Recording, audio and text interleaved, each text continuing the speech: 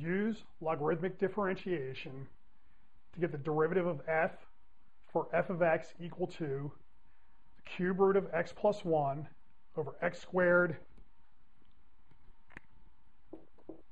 times the fifth root of x plus 2. So the whole point of logarithmic differentiation is to let us bypass the quotient rule. If I was to take the derivative of this normally, we have an f over a g, and this g has a product rule in it, so you can see the quotient rule is going to turn into a huge mess.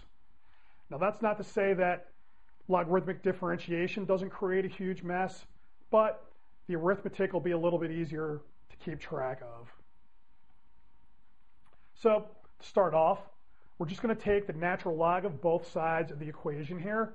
So natural log of f is equal to the natural log of my x plus 1 to the 1 third, x squared, x plus 2 to the 1 fifth.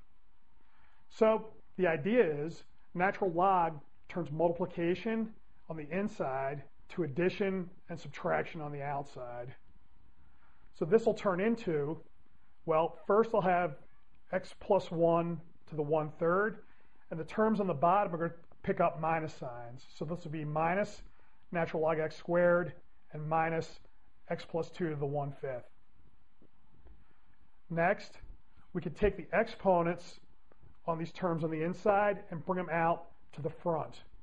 So that'll turn into 1 third natural log x plus 1 minus 2 natural log of x minus 1 fifth natural log x plus 2. Okay, now you notice this we can differentiate no problem, differentiate no problem, no problem, no problem. So let's see what happens.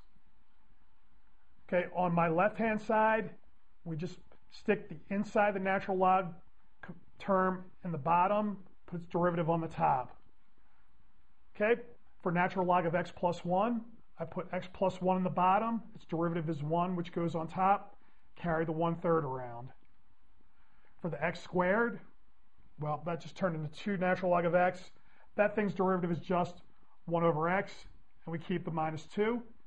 And then for x plus 2, we put that in the bottom. Derivative of x plus 2 is just 1, so that goes in the top, so that picks up the minus 1 fifth. And that's f prime over f. If I want to get f prime by itself, we just multiply through by f, and we know what that is by definition. That's just x plus 1 to the 1 third over x squared, x plus 2 to the 1 fifth. So we multiply that through. What happens? We have x plus 1 in the bottom here. So that's going to come up as x plus 1 to the minus 1, which will turn this thing here into x plus 1 to the minus 2 thirds. Okay, the rest stays the same, and we pick up that 3 in the bottom from this term. For my next term, we're just going to multiply by minus 2 the x in the bottom is going to hit the x squared to become x cubed.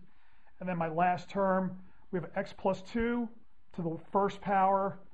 It's going to hit the x plus 2 to the 1 fifth. That turns into x plus 2 to the 6 fifths.